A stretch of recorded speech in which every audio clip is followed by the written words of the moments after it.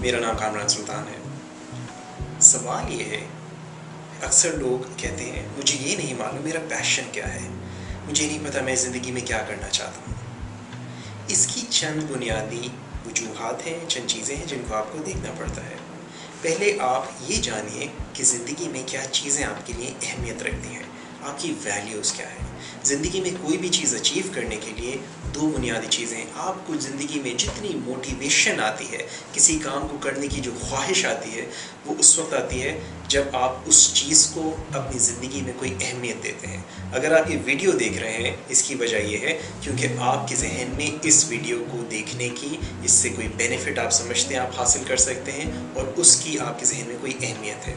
तो एक पर्चा लीजिए, उसके ऊपर ये लिखिए लिस्ट बनाइए कि आप ज़िंदगी में किन किन चीज़ों को अहमियत देते हैं। This can include your career your family your relationships your religion your community what जब आपके सामने एक लिस्ट आ जाए, इस लिस्ट में से फिर आप इसको प्रायोरिटाइज करें कि इनमें कौन सी चीज़ सबसे ज़्यादा अहम है।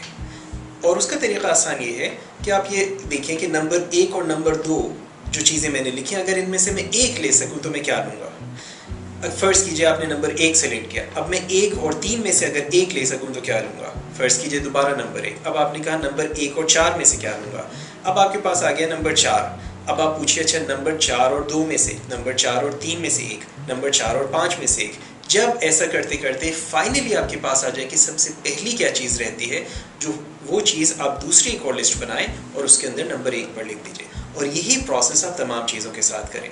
जब ये चीज़ आपके सामने आएगी तो आपको पता चलेगा कि आपकी वैल्यूज़ क्या है। ये वैल्यूज़ आपकी ज़िंदगी में आपको मोटिवेशन प्रोवाइड करती हैं।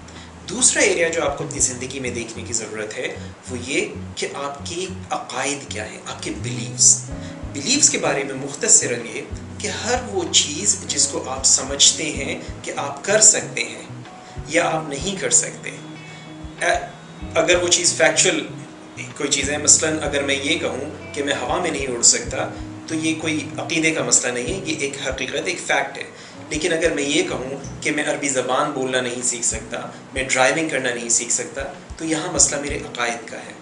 तो अपनी ज़िंदगी में आपने ये देखना होगा कि आपके कौन से ऐसे अकायद हैं जो कि आपको सपोर्ट करते हैं और कौन से ऐसे अकायद हैं जो कि आपको रोकते हैं। वो अकायद जो आप रोकते हैं, वो जनरली इस स्टेटमेंट की फॉर्म में होंगे I can not do X मैं ये नहीं कर सकता। अब देखिए जब आपके सामने ऐसे स्टेटमेंट्स आए कि मैं ये नहीं कर सकता, मैं ये नहीं कर सकता तो उनके अंदर मसलन मैं अपनी इनकम डबल नहीं कर सकता। मैं कामयाब नहीं हो सकता। मैं एक अच्छा बाप नहीं बन सकता। मैं एक अच्छा बिजनेसमैन नहीं बन सकता।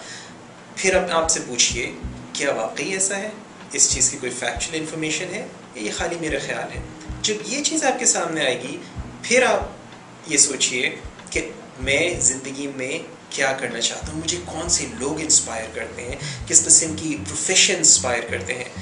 ये प्रोसेस थोड़ा सा टाइम लेवा होगा ये फौरी तौर पे नहीं होगा लेकिन जब ये प्रोसेस आप करेंगे इन ताला आपके पास कि, आप ज़िंदगी में क्या करना चाहते हैं इसका एक बुनियादी खाक आ जाएगा।